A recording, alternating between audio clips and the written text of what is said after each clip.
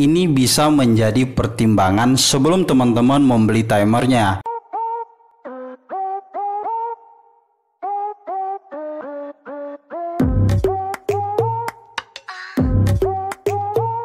Selamat datang di Trikal pada kesempatan kali ini kita akan belajar apa perbedaan dan persamaan antara kedua timer analog yang saat ini kita akan pelajari ya. Perbandingan kedua timer analog ini bertujuan untuk memahami fungsi-fungsi agar ketika teman-teman ingin membeli dan menggunakan timer ini untuk membuat sebuah rangkaian otomatis ataupun rangkaian kendali dalam menentukannya tidak salah. Sebelumnya saya telah membuat video khusus dan dan detail untuk mengulas tiap timer ini, baik itu timer The Band dengan tipe SUL 181H dan timer Omron dengan tipe H3CRA8. Untuk link videonya kalian bisa klik di pojok kanan atas atau kalian bisa cek playlist-playlist video-video yang saya sudah kategorikan. Pertama, kita pahami terlebih dahulu secara definisi timer analog. Jadi, timer analog merupakan sebuah komponen listrik penghitung waktu dan ketika waktu waktu yang telah kita atur secara manual dengan nilai tertentu sesuai dengan settingan yang kita tentukan, maka output pada kontak-kontak timer ini akan bekerja. Yang awalnya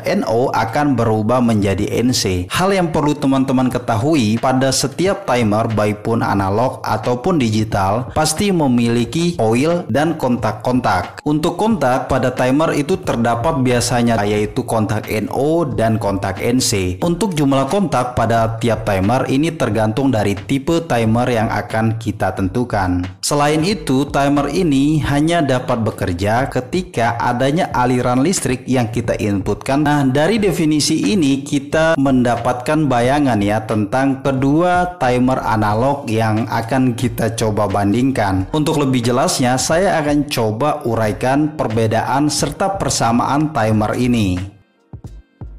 Oke, jadi kita akan mulai dari persamaan timer ini terlebih dahulu. Pertama, timer ini persamaannya yaitu sama-sama menggunakan tegangan 220 volt untuk mengaktifkan coil yang ada pada timer ini. Baik itu timer The Band atau pada timer Omron dengan tipe H3CRA8.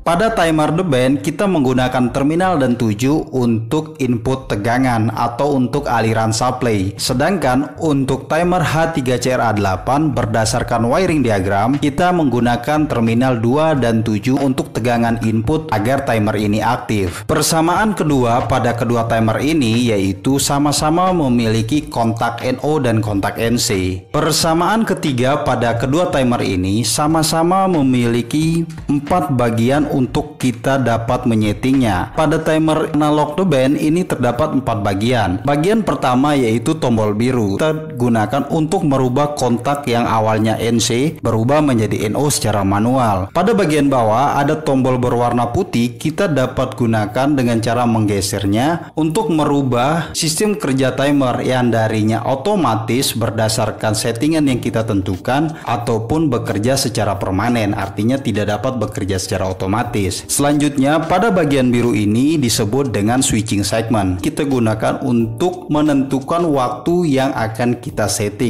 Setting kapan NO dan kapan NC. Selanjutnya, di bagian tengah timer the band ini memiliki tuas putar. Kita gunakan untuk menyeting di jam berapa timer akan bekerja. Pada timer Omron dengan tipe H3CRA8. Timer ini juga memiliki empat bagian yang dapat kita setting. Yang pertama, kita dapat gunakan namanya range selector. Kita dapat merubah waktu yang ada pada bagian display. Selanjutnya di sini ada setting knob. Kita gunakan untuk menentukan range dari perubahan waktu yang akan kita gunakan. Dan kemudian ada bagian ketiga, time unit ini kita gunakan untuk menentukan waktu yang ada pada bagian bawah ini. Kita dapat gunakan second, menit, jam, dan lain sebagainya. Dan bagian keempat yaitu type mode. Kita gunakan untuk mode apa yang kita akan gunakan untuk mengeksekusi kontak-kontak yang ada pada timer. Untuk persamaan pada kedua timer ini itu saja yang dapat saya sampaikan. Jika ada tambahan tambahan, kalian bisa tuliskan di kolom komentar. Selanjutnya, untuk perbedaan pada kedua timer analog ini, baik dari timer The dan timer Omron. Oke, pertama kita coba nilai dari segi dimensi ya. Nah, timer The Band ini ukurannya lebih panjang dan lebih besar dibandingkan dengan timer Omron H3CRA8. Jika kita perhatikan, timer Omron ini modelnya lebih kotak, panjang dan lebarnya sama, yang membedakannya adalah lebih tinggi. Nah, ukuran ini nantinya kalian bisa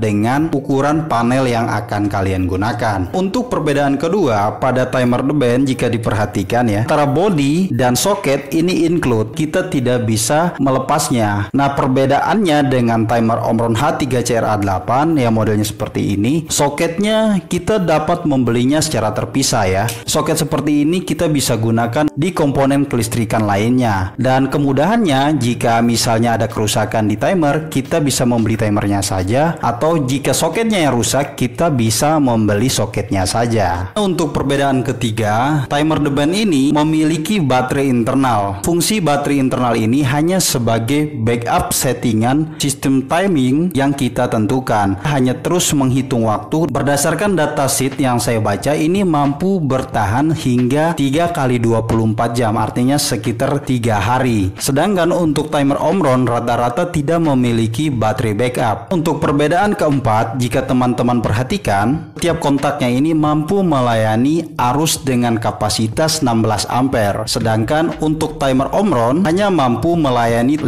ampere baik itu AC ataupun DC. Untuk perbedaan kelima pada kedua timer ini. Pada timer The Band ini hanya memiliki satu kontak NO dan satu kontak NC. Dibandingkan dengan timer analog dari Omron dengan tipe H3CRA8 memiliki dua kontak NO dan dua kontak NC. Kemudian untuk perbedaan ketujuh mengenai harga. Nah untuk timer The Band dengan tipe 181H sedikit lebih mahal dibandingkan timer Omron H3CRA8. Jadi saran saya tentukan dahulu logika atau prinsip kerja rangkaian yang kalian akan buat baru menentukan timer mana yang kalian akan gunakan. Jika kalian bertanya timer mana yang lebih baik, menurut saya tidak ada yang lebih baik dan tidak ada yang lebih buruk. Tergantung dari penggunaannya. Kita akan gunakan timer itu sebagai kontrol ataupun kendali rangkaian yang seperti apa. Untuk persamaan dan perbedaan antara kedua timer analog ini itu saja yang dapat saya sampaikan. Jika teman-teman ingin menggunakan timer, ini bisa menjadi pertimbangan sebelum teman-teman membeli timernya. Dan semoga video ini bermanfaat. Jika ada saran ataupun pertanyaan, tinggalkan pesan pada kolom komentar. Untuk seluruh barang ataupun peralatan yang saya review dan membuat tutorialnya, link pembelian kalian bisa cek di kolom deskripsi tiap video. Dukung channel ini agar terus berkarya dan berkembang dengan cara subscribe, like, dan share. Sampai jumpa di video selanjutnya. Terima kasih.